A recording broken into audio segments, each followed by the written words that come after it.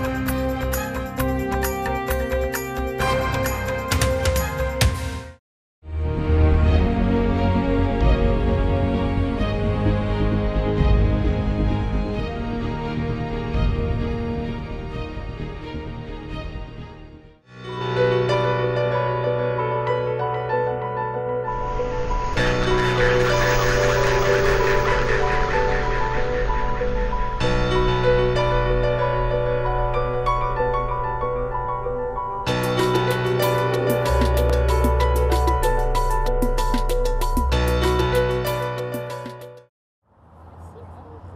Елена Серова родилась 22 апреля 1976 года в поселке Воздвиженка Уссурийского района Приморского края.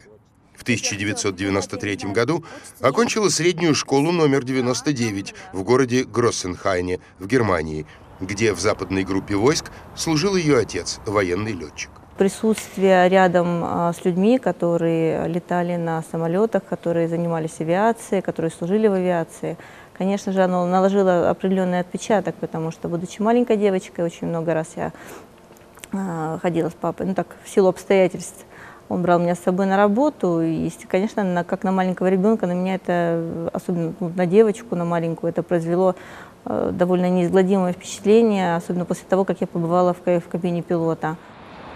Далее учеба в Москве.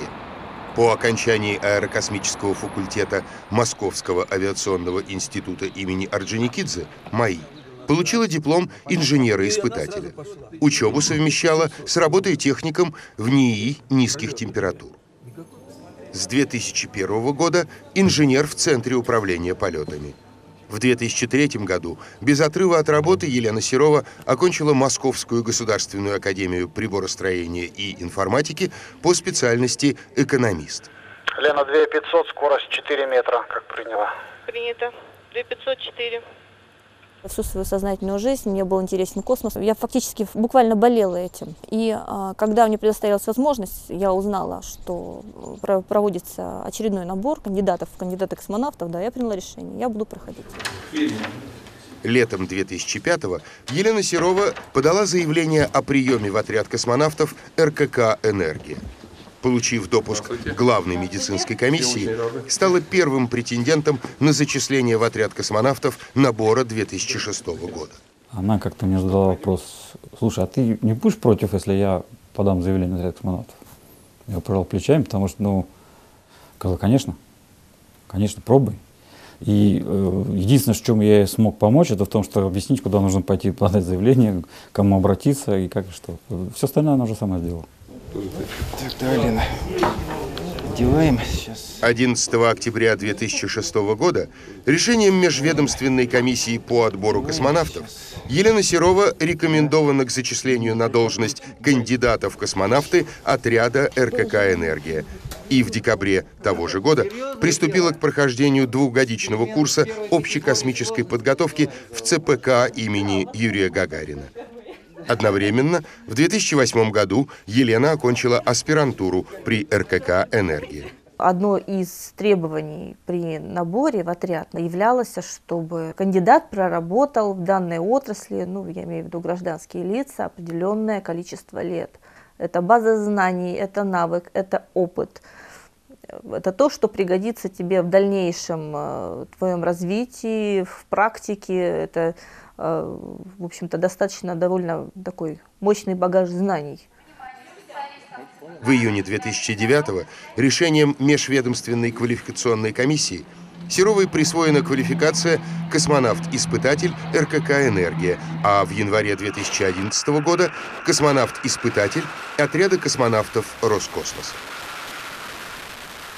У Лены сейчас получается все. Великолепно. Она прекрасно работает в воздухе. Да. Она готова ко всему сейчас. Она умница, прогресс, колоссальный прогресс. Я рад. Спасибо. Летом 2010 года в Казахстане вместе с Олегом Новицким и Сергеем Рыжиковым принимала участие в тренировках по выживанию в условиях пустыни. В январе 2012 года Елена Серова приступила к подготовке в качестве бортинженера транспортного пилотируемого корабля «Союз ТМАМ» и борт-инженера МКС в составе дублирующего экипажа экспедиции МКС 3940. Принято, контроль давления. 760. Принято 760. В экипаже постоянно идет взаимоконтроль, э, взаимовыручка, э, слаженная работа. Тренировки проходят довольно интенсивно, потому что наши инструктора задают всегда довольно, довольно такой тяжелый темп. И тем не менее, как сказал командир, тяжело, говорит, в учении легко, в бою. Я материк, я материк, я материк. Терплю бедствие, терплю бедствие, терплю бедствие.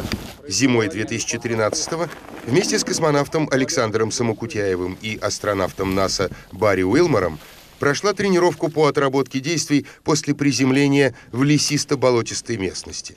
Лена боец такой же, как и мы, Правильно. только красивый.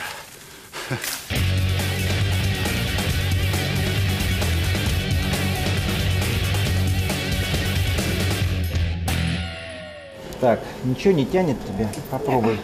С марта по сентябрь 2014 Елена Серова готовилась к космическому полету как борт-инженер «Союза» и борт-инженер МКС. Так или еще? Да, я думаю, так хорошо, отлично, отлично. Ты учишься, тренируешься, ты стараешься. В итоге действительно получается, что ты доказываешь свою состоятельность, но это делаешь не только ты, это делают точно так же вокруг тебя все э, претенденты, которые пришли вместе с тобой в отряд, в общем-то. Вс- Все это делают. И совсем не важно, там, женщина ты в мужском коллективе или там, ты мужчина в женском коллективе. В сентябре 2014 Елена Серова начала прохождение комплексных тренировок борт-инженером основного экипажа МКС-4142 вместе с командиром экипажа Александром Самокутяевым и борт-инженером Барри Уилмором. 26 сентября 2014 с позывным «Тарханы» вместе с космонавтом Самокутяевым и астронавтом Уилмором Елена Серова стартовала в космос на корабле «Союз» ТМА-14М.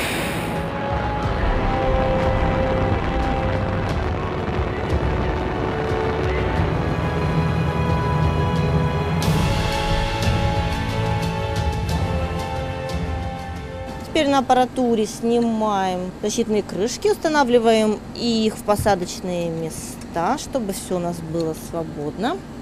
И устанавливаем аппаратуру ФСС в посадочные гнезда, четко соблюдая последовательность фиксации болтов аппаратуры кронштейну. Борт-инженер Елена Серова работала на Международной космической станции до марта 2015 года.